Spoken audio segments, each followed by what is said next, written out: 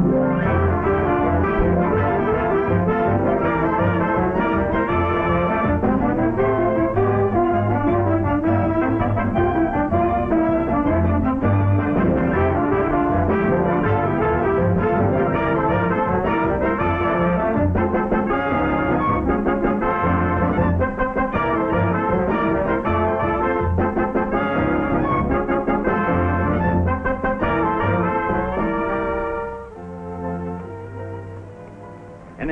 particular you'd like to go for lunch, Charlie? Lunch is on me today, Dick. Let's go to the largest club in the world. Oh, you mean the Noontime Club? No, a larger club than that. Largest club in the world, huh? I don't get it. But here's my car. Let's get in. Okay.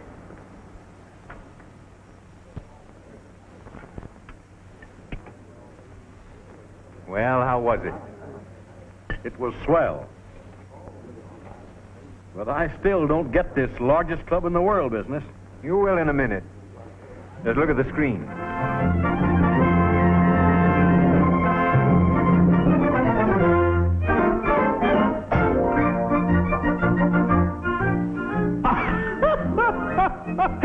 Drivers is the screwiest people. You're right, Lou, but don't forget the heedless pedestrians. They're kind of screwy, too. yeah. All brothers under the tin. I've got my hands full with the screwdrivers, and you got the screwy pedestrians or screwjays. That's what they are. Screwjays. you got 'em, and you're stuck with 'em. Ah, here's the drivers. That's my department.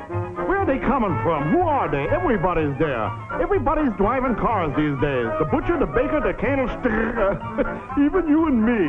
Come on, let's get down to cases. Let's take any driver. In other words, Mr. Anybody. Is he a businessman? Here's a typical businessman. Are you the man we're looking for? No. Mr. Mechanic, could you be our man? No? Well, all right. I was only asking. Let's see. The butcher, the baker, the candlestick maker, uh, the butcher. Hey, butcher, give me a pound of round ground, uh, ground, oh, skip it. Are you Mr. Anybody? No. Ah, Mr. Terwilliger, my old zoology teacher. Say, Mr. Terwilliger, could you be Mr. Anybody? No, Mr. Terwilliger, you ain't even close. The businessman, the mechanic, the butcher boy, Mr. Terwilliger, put them all together. No, they don't spell mother. They spell, ah, everything is going round. What gives out? What goes on? What's the matter? Let's get together. Hey, who is this coming from all these drivers? Could you be any driver, anybody, by any chance, Mr. Anybody? Okay, Mr. Anybody. Thank goodness I found you. Well, now that I found you, just go on your merry way. Make like I'm not following you. But I'm going to watch you and see how you drive. Here we go, merrily on our way. Hey, look out, Mr. Anybody. Don't pull out like that without looking back or holding out your hand.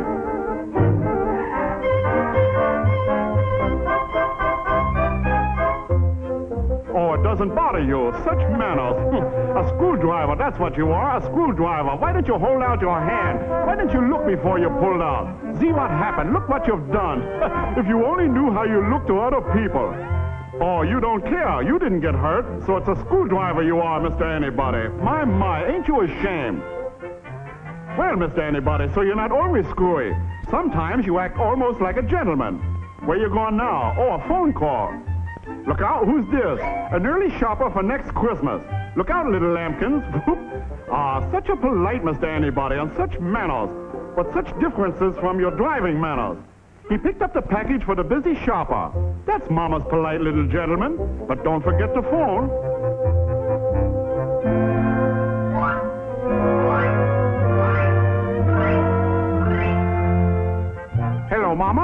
Bring home what? A pound of round, ground, ground, uh, ten pounds Rudy Bear, uh, Turner, uh, heads of leather, uh, Brussels sprout, uh, apples for the teacher. Coming up, Mama, right away. Yeah, yeah, all right, Mama. Yeah, I bring them home. Yeah, okay. yeah, yeah.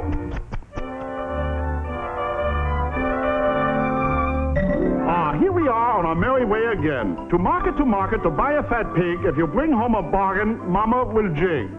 Hey, Papa, there's the market. Don't forget Mama's Rudy Bear, uh, turnips. Where you going to park? Not there, Papa. That's for going, not for stopping. Oh, Papa, my, my. Only a screwdriver double parks. No consideration for the other fella. Just look how you've jammed up traffic, and are those drivers mad at you? What's people looking at? You don't know, Papa? Well, you should. You're such a screwdriver. My... Mr. Anybody, it's just people like you that make people like me exasper, exasper, angry. It's people like you, Mr. Anybody, if you know what I mean.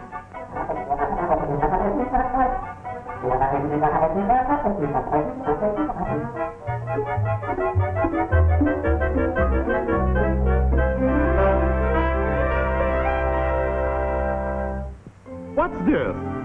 The Hardy family having a Jones dinner. Uh, I mean, the Jones family having a Hardy dinner. Uh, I mean, it's Mr. Anybody, uh, Papa in his own home. And look how nice he is to Mama's mama. Now for some home-cooked Rudy Beggars. There, I said it. Uh-oh, here comes the bread. I mean, why, Junior, is that nice rushing in like that?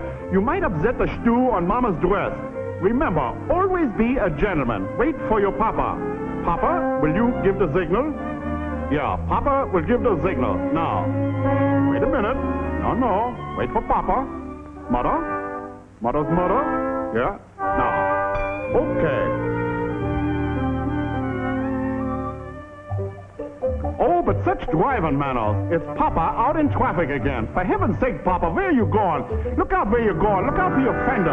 Why don't you look where you're going? Why don't you go where you're looking? Why don't you slow down? My, my, Mr. Anybody, why don't you... Why? Such a weaving in and out. Such an in and out. Half the time he's polite and half the time he's got lousy, uh, terrible manners. Say, you look like Junior coming to dinner. What's the idea of rushing like that? Oh, I see. You got to get somebody there in a hurry. Well? Hey, wait for the signal. You're worse than Junior. Now, look, you got people going and coming. That's the trouble with you, Mr. Anybody. You're going when you should be stopping, and you're stopping when you should be gone. A pretty kettle of fish. Why didn't you wait for the signal? Well, here you are again. Nice work, sport. You made it without a moment's delay. Hurry right over to the hospital for your brother's appendix, uh, appendix, uh, operation.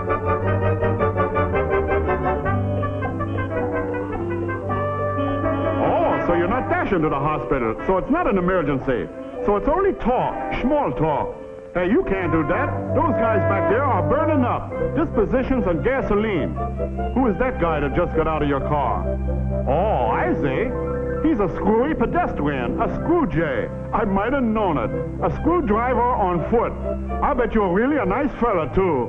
A careful, considerate man until you get loose on the street. Just a minute, Lou. This is where I come in. Let me at this thoughtless pedestrian, this uh, screw jay. You've handled the screwdriver. Ha ha, this fella's mine. Okay, Don, take him away. And welcome. Take him far, far away. All right, Lou, I'll take him.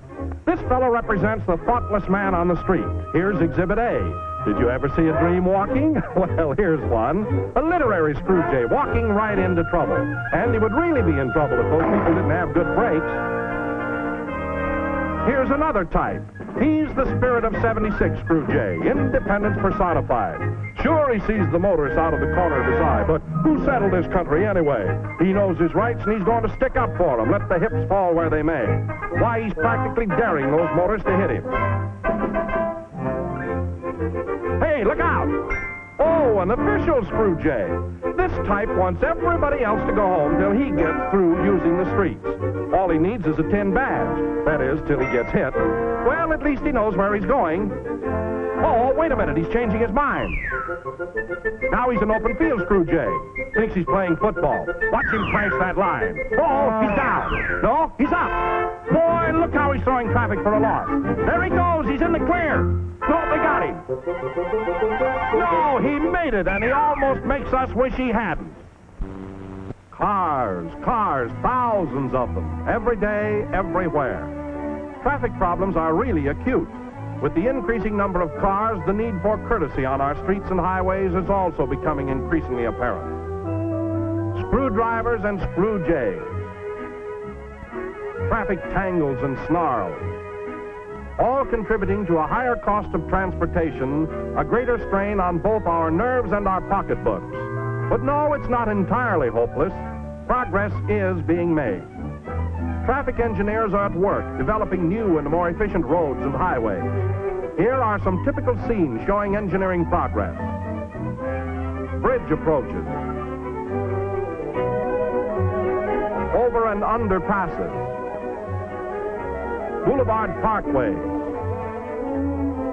Here's an impressive scene of a modern cloverleaf, a fine engineering contribution to eliminate highway congestion. Legislative bodies are also at work, passing and enforcing new and better laws. Mayors, chiefs of police, civic bodies, all are tackling this great problem. One large oil company is vigorously attacking